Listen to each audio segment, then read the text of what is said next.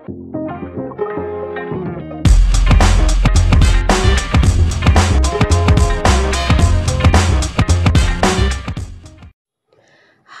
sekarang coba perhatikan pada gambar berikut.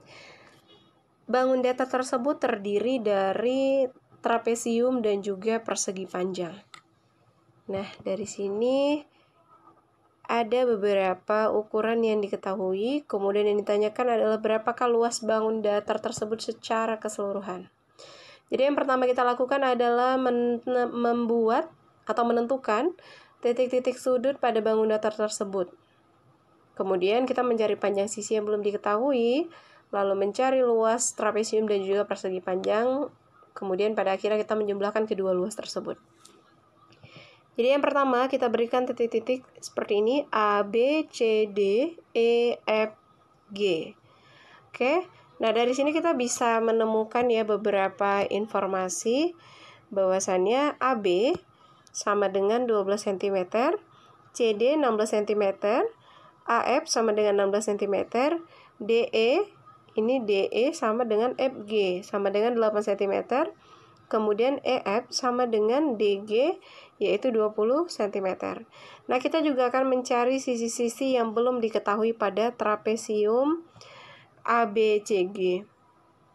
Nah, pada trapesium ABCG yang belum diketahui itu adalah ukuran CG. Nah, ukuran CG ini bisa kita peroleh dari DG kurang CD. DG-nya itu adalah 20 cm, kemudian CD-nya 16 cm. Maka diperolehlah 20 kurang 16 yaitu 4 cm. Kemudian kita mencari panjang dari garis AG. Nah, garis AG ini kita peroleh dari garis AF dikurangkan dengan garis GF. Nah, GF-nya tadi 8 ya. AF-nya itu 16 cm. Maka kita peroleh panjang AG adalah 16 cm dikurang 8 cm, yaitu 8 cm. Maka setelah kita menemukan sisi-sisi yang belum diketahui dari trapesium tersebut, maka kita akan mencari luas trapesium ABCG. Nah, formula untuk mencari luas trapesium ABCG adalah setengah dikali jumlah sisi yang sejajar dikali tinggi. Nah, jumlah sisi sejajar di trapesium itu adalah CG dan juga AB, maka setengah dikali 4 ditambah dengan 12 cm dikali dengan 8. Kita peroleh luasnya yaitu setengah kali 16 dikali 8 dan luas yang pertama atau luas trapesiumnya sebesar 64 cm kuadrat. Oke, nah kemudian kita mencari luas persegi panjang.